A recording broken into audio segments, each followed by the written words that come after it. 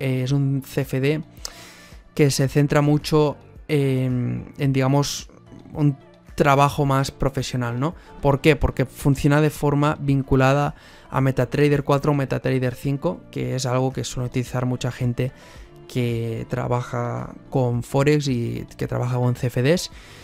Eh, entonces, pues bueno, lo que tienes que hacer aquí es crear tu cuenta y una vez tienes tu cuenta, que puedes también tener varias en la misma plataforma, seleccionas si quieres que sea una cuenta en base a MetaTrader 4, 5, una cuenta real, una cuenta demo. Y luego en plataformas verás que tienes, pues sobre todo es MetaTrader 4 o MetaTrader 5. Y los botones para descargarlo para ordenador, Mac o teléfono móvil o directamente abrirlo aquí en WebTrader y tienes pues lo que sería el MetaTrader 5 una vez pongas tus datos que son los que tendrás en tu cuenta y operarás, en este caso sería MetaTrader 4.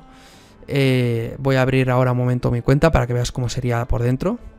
Supongo que te sonará MetaTrader 4 o 5, pero bueno, como ves es este el estilo de interfaz que tenemos en MetaTrader 4, por esto digo que es un poco más avanzado, es una plataforma digamos eh, un web trader eh, mucho más, digamos, lineal, eh, con menos colorido, ¿no? Más serio visualmente. Y por eso te digo, pues que es ya para personas más avanzadas, pero que a la vez también es muy interesante porque incluso tienes botones de comprar y vender en el propio gráfico al momento. Y, pues le puedes añadir incluso bots, eh, todo tipo de indicadores, eh, crear estrategias y bueno, tiene más herramientas y opciones que la mayoría de web traders de cuando se puede operar desde la web. Entonces, bueno, pues a nivel más profesional, si tienes cierto conocimiento, es muy interesante para Latinoamérica eh, la plataforma de XM vinculándola a vinculándola pues a, a MetaTrader 4 o 5.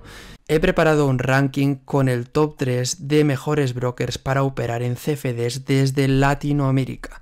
Si quieres ver el ranking tienes el enlace en la descripción de este vídeo. Recuerda, link en la descripción del vídeo.